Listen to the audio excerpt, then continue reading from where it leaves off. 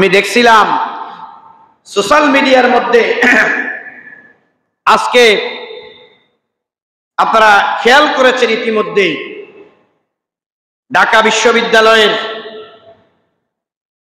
আরবি বিভাগের ছাত্ররা, তারা কোরআন তেলোয়াতের কোরআন চর্চার আয়োজন করেছে। তাদেরকে সেখানে একদল নামদারি মুসলমান নামক ছাত্র কুলাঙ্গার, তারা সেখানে সিয়াম পালনকারীদের উপর তারা হাত তুলেছে, ঠিক কিনা?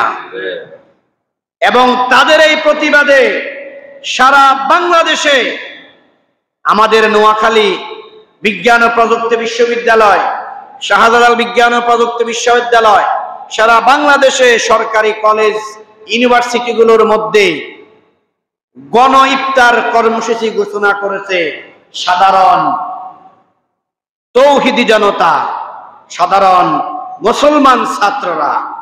আমরা ইতিমধ্যেই সোশ্যাল মিডিয়া এবং ফ্রি ইলেকট্রনিক্স মিডিয়ার মধ্যে আমরা লক্ষ্য করেছি, আমাদের কাছে ফেনী সরকারি কলেজ মাঠে সরকারি কলেজের সাধারণ ছাত্ররা এই রাম এবং বামদের এই হটকরিতার বিরুদ্ধে তারা প্রতিবাদ স্বরূপ গণ ইফতার কর্মসূচি ঘোষণা করেছে।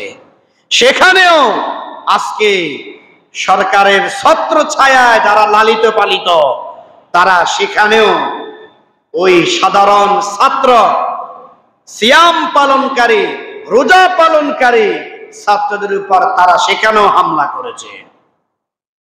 সম্মানিত প্রিয় মুসলিয়াল্লাহ কেরাম, আজকে সকল বিশ্ববিদ্যালয়, ঢাকা বিশ্ববিদ্যালয় সহ সকল পাবলিক ইউনিভার্সিটিগুলোর মধ্যে এই কয়দিন আগে সরস্বতী পূজা হয়েছে। আপনারা জানেন, হিন্দুদের সরস্বতী পূজা গেছে না? কয়দিন আগে? মাসখানিক আগে সরস্বতী পূজা। এই সরস্বতী পূজা ঢাকা বিশ্ববিদ্যালয় এগুলোর ভিতরে পূজা মণ্ডপ হতে পারবে। কিন্তু মুসলমানের পাঁচটি স্তম্ভের এই সিয়াম পালনকারীদের জন্য ইফতারের প্রোগ্রাম করা যাবে না।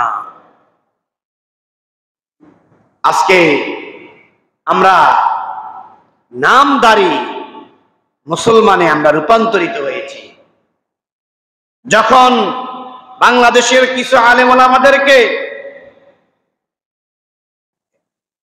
তাদেরকে যখন বন্দি করা হয়েছিল, আমরা কিছু সুবিধাবাদী আলেম মনে করছি তারে মারো। আমি তো সেবে আছি। আসলে কোন দল, কোন আলেমকে তাদের লক্ষ্য নয়, টার্গেট নয়। তাদের টার্গেট হচ্ছে বাংলাদেশ থেকে ইসলামটাকে উৎখাত করা, ঠিক কিনা বলেন? আজকে ঢাকা বিশ্ববিদ্যালয়গুলো আপনার, আমার নব্বই পার্সেন্ট মুসলমানের ট্যাক্সের টাকায় বিশ্ববিদ্যালয়ের ভিসি ফক্টর শিক্ষক, ছাত্র, তাদের বেতন চলে। নব্বই পার্সেন্ট মুসলমানের ট্যাক্স দিয়ে। আর সেখানে সরস্বতী পূজার অনুষ্ঠান হতে পারলে নব্বই পার্সেন্ট মুসলমানের ইফতার কর্মসূচি কেন সেখানে পালন করতে আমাদেরকে বাধা দেওয়া হবে?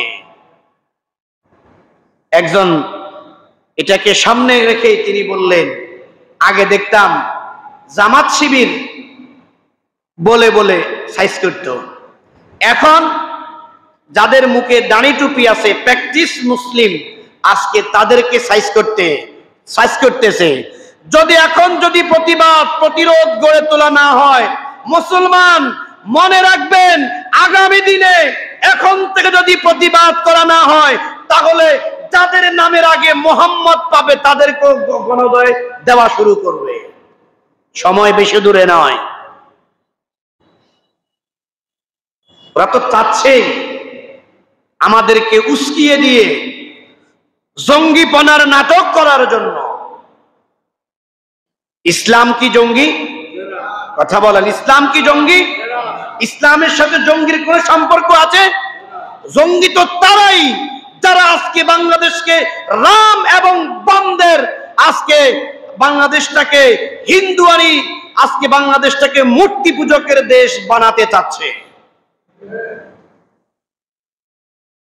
নব্বই পার্সেন্ট মুসলমানের দেশ, আমি ইফতার ফাতি করতে পারব না। ইফতার ফাতির বিরোধিতা মানে ইফতারের বিরোধী। আচ্ছা বলেন তো দেখি, যারা আমরা সিয়াম পালন করি, যারা রোজা রাখে রোজা কি শুধু সরমনায়ের মুরিজেরা রাখে? রোজা কি শুধু উজানির মুরিজেরা রাখে? রোজা কি সালসিনের মুরিজেরা রাখে? রোজা কি যারা হেফাজত করে তারা রাখে? রোজা কি যারা ইসলামী আন্দোলন বাংলাদেশ তারা সিয়াম পালন করে? রোজা কি শুধু জামাত শিবিরের পোলাপান রাখে? রোজা কি শুধু আওয়ামী লীগের লোকে রাখে? যারা সিয়াম পালন করে, তাদের কোনো দলীয় কোনো পরিচয় নাই। তাদের পরিচয় হচ্ছে তারা মুসলিম। কিনা বলেন? আজকে যারা সিয়াম পালনকারীদের বিরুদ্ধে, তারা কোন দলের বিরুদ্ধে যায় নাই, বরং তারা সমগ্র মুসলিম জাতির কলিজার ভিতরে তারা আগুন লাগিয়ে দিয়েছে। আমরা এই আজকের এই জুমা থেকে আমরা আজকে সরকারকে আমরা পরামর্শ দিতে চাই। আসলে এই দেশে কোরআনের শত্রু আওয়ামী লীগও নয়, বিএনপিও নয়। এই দেশে সরকারের উপর কিছু বাম এবং রামরা সরকারের মাথার উপর চেপে বসেছে। আজকে তারাই বাংলাদেশটাকে একটা উচ্ছৃঙ্খল পরিবেশ করার জন্য আজকে তারা পায়ে তারা করতেছে। আমরা দেখেছি গত কয়েকদিন আগে ভারতে ভারতে গত কয়েকদিন আগে রাস্তার উপরে নামাজ চলো অবস্থায় ভারতের একজন পুলিশ সেখানে মুসল্লিদেরকে গণহারে পিটাচ্ছে। আজকে আমাদের স্বাধীন সার্বভৌমত্ব এই দেশে আমি স্বাধীনভাবে আমার ধর্মীয় কালচার পালন করতে পারব না। আল্লাহ রাব্বুল আলামিন আমাদের নেতা নেত্রীদেরকে সঠিক সমাজ দান করুক সকলে বলি আমিন।